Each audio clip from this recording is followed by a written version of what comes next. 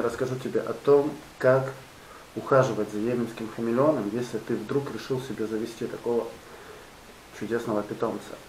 Если ты будешь брать ребенком его, маленьким, э, не знаю, как называются маленькие хамелеоны, хамелеончики, вот, то тебе нужно знать, что в юном возрасте они очень капризны в плане здоровья. Тебе нужно подготовить для него все условия, иначе он будет очень сильно болеть и, скорее всего, не выживет. Очень нежные существа, они в раннем возрасте. Э, для того, чтобы он рос и развивался правильно, тебе нужно обязательно для него купить витамины и кальций. Э, иначе он будет болеть и дольше года у тебя не проживет. Вот. Чтобы кальций хорошо усваивался, тебе нужны специальные лампы, которые излучают э, витамин D3. Лампочка одна такая стоит примерно около 15 долларов в интернете. Ну и соответственно лампочка сама не будет светить, тебе нужна сама лампа, куда ты будешь это вставлять. Вот. И этот балласт, он тоже стоит около 20 долларов, 15-20, в зависимости от того, где ты будешь его брать. Вот. Еще тебе нужен будет террариум. Э, ну, на сегодняшний день вот этот взрослый экземпляр у меня живет просто на подоконнике, на лимоне, на дереве.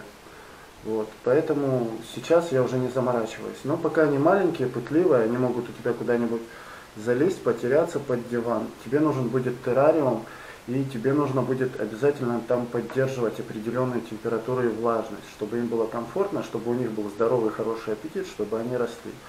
И тоже вот этот электронный увлажнитель, терморегулятор тоже будут стоить тебе каждый примерно по 10-15 баксов. В принципе, недорого. И сам хамелеон, в принципе, то есть Самцы они немножко дороже, потому что они вот, вот это самец, они выглядят больше, вырастают больше, ярче, краска у них ярче. Ну и сами по себе они немножко поинтереснее. Вот. Э, в моем городе стоит 15 долларов. Но вот, например, в соседних городах я узнавал, смотрел, цены доходят до 100 долларов за экземпляр. Поэтому Пробуй искать в интернете. Я думаю, ты сможешь найти и сэкономить. Если не очень далеко, то в принципе их можно отправлять по почте. Так, продавец, у которого я покупал и делает. Вот.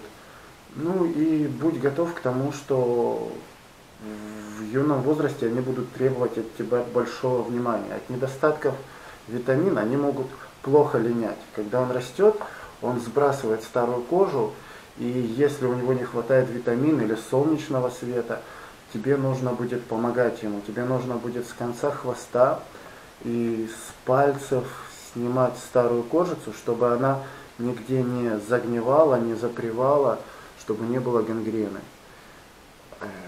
Целом не так сложно за ним ухаживать, просто нужно быть к нему внимательным, обращать на все внимание – и помогать ему. Тогда он будет очень долго радовать тебя своим присутствием. Абсолютно разные, знаешь, они по своему характеру, как люди. Вот этот он такой больше мне попался спокойный, ручной, трусливый, видишь, он не, не агрессивный. Те же хамелеоны такого же вида, они бывают, ну, как правило, когда чувствуют опасность, очень сильно раздуваются, начинают шипеть на тебя, э, от этого я ни разу в жизни такого не видел, поэтому тебя могут ждать сюрпризы. Но очень хорошие, знаешь, очень такие в принципе дружелюбные, ручные.